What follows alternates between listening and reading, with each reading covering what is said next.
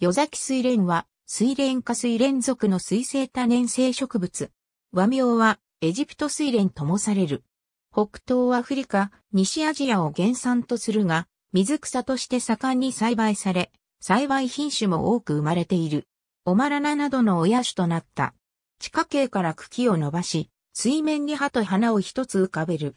葉は縦形で計40から50センチメートルで、葉上縁があり、暗緑色、裏面は茶褐色で葉脈がはっきりと見える。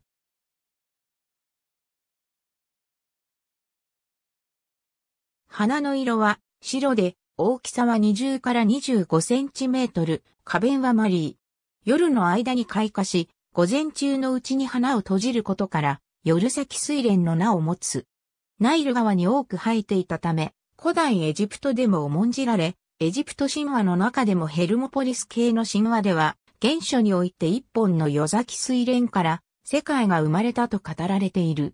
その後もナイルの花嫁と称えられ、現在もエジプトの国家とされている。花を食用とした場合、酸因性あるいは幻覚性の効果があると信じられていた。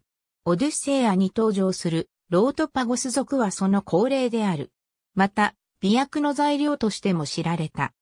米倉浩二、梶田正 BG プランツ和名学名インデックス、http コロンスラッシュスラッシュ ylist.info.abcde 水蓮化、ニムフィーシー、熱帯植物洋蘭熱帯植物研究会編、洋剣道、1996年、第4版、87ページ。ISBN 4から92万4395から 03X。ありがとうございます。